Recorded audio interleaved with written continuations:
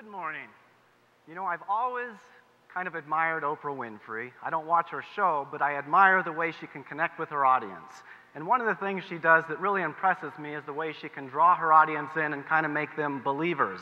And she does this often by giving them free things. If you saw the Jon Stewart Daily Show last week, she popped in and gave his whole audience a free trip to his big rally to restore sanity this weekend. And how she does that is to tell her audience to look under their chair and get a voucher for free this or a free that. And I thought today that I could show up and do the same thing and have you each look under your chair and find maybe a $100 bill. And so I was going to walk out here and say, look under your chair and grab that 100 bucks. And that's when my wife nudged me and said, Sean, you're talking about being paperless. You can't give them paper as a prize. And so I just want you to know that it's the thought that counts, all right? I started going paperless about seven years ago, and I teach some special ed courses and some educational technology courses and even some ed foundations courses. And I got to this point where I don't have a good filing system. So I would have piles of papers, and some papers were graded, some were partially graded. My dog would eat other piles. I mean, I, I hit all those uh, kind of barriers that you have with paper. And so I decided to shift to paperless teaching um, seven years ago, and I haven't looked back. And in the early days, it wasn't easy because I would have students that would do stuff with old ClarisWorks on a Mac, and I couldn't open the file or whatever file type they used. And then Google came along with Google Docs. And I shifted to using Google Docs many years ago and had my students create a Google account, and we've gotten rid of all the file compatibility issues since then. And now every student at Grand Valley has a Google Docs account, and so it's very easy to use with your students. Anybody in the world can get a Google Doc account for free. Um, but I want to provide a little justification for why you should consider going paperless, and I'm not going to read anything that's up there, um, but I will tell you that in the business world, the average document is copied about 19 times. The typical US household sends or receives 26 bills, statements, or checks per year or per month.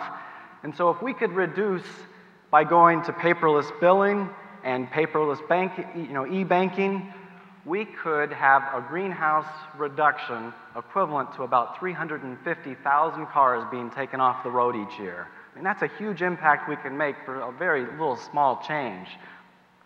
I want to also address the naysayers. And there are people who would say, well, we shouldn't think about going paperless. Instead, we should think about going computerless because our computers and devices are always on and they're using a lot of electricity, and that's much more, has a bigger impact on the environment. And I would concede the point that um, our devices do use a lot of electricity, and I hope the powers that be come up with cleaner forms of energy and sustainable forms of energy. I'm all for that. But I think the paper copies that we make are often redundant because we already have the digital copies.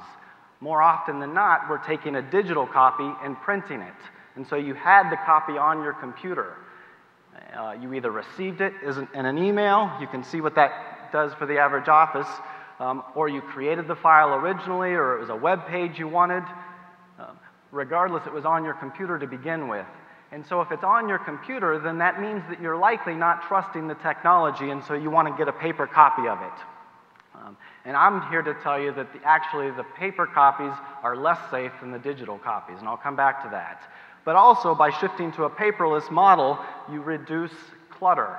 And so if you don't have clutter like me, perhaps you file stuff in file cabinets. And the average business will need another file cabinet when that one fills, and then another file cabinet when that one fills. And so if we can shift to a paperless model, then you reduce all of that extra space.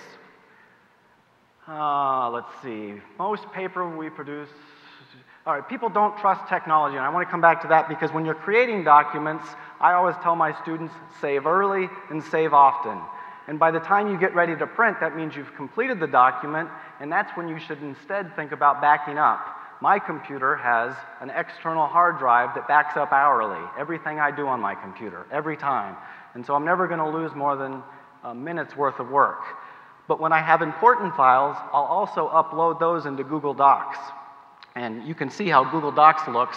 It looks very much like Microsoft Word for the, uh, the word processor. They also have a PowerPoint version and an Excel uh, uh, version, but it looks very similar. But if you can back up into Google Docs and your house burns down, I can assure you the paper copies are going to burn first. And then maybe the digital copy will also be lost, but the copy in Google Docs will not be lost. It's actually a safer model to get into digital than to go with paper. How do you go paperless at work? Well, first it's a mentality. You have to decide to do it. And I decided to use Google Docs. Maybe that's the tool that works for you. I would love to see schools try to go more paperless. Obviously, kids are going to still have to handwrite and work on that kind of stuff, but schools could save a lot of money for, uh, they use Microsoft Word right now. If they went to open source solutions or Google Docs that's free, they could save millions of dollars across the United States per year by going uh, to these different tools. Read ebooks. You know, Amazon announced yesterday that their ebooks, their Kindle store, is now outselling their paper books, so the hardback and the paperback books, two to one.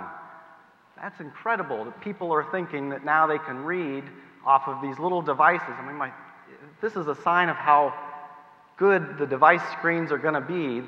It's incredible how good they look. And I know that people will say, I can't read off of, of a computer screen, for example, but the Kindles and the iPads, the screens are really getting readable. And the satisfaction surveys are very close to books now. And so you can get those. In fact, the, the iPad will read the Kindle books. And so those numbers that they have are very similar. Uh, uh, actually, the iPad and the Kindle both use the Kindle books, and so they're outselling two to one. If we can do that with books, we can do it in other parts of our lives as well. Um, how do you go uh, paperless in your life? Well, for one, you can do like I said earlier and shift to paperless banking. You can shift to paperless bills. But you also get a lot of junk mail. And so if you go through your junk mail and start to examine the kind of stuff you get over and over, you can contact those companies and tell them, I don't want to receive your junk mail anymore. If you know how to do a Google search, you can search for how do I reduce my junk mail, and there's lots of tips for doing that. One of the things you get a lot of is credit card offers.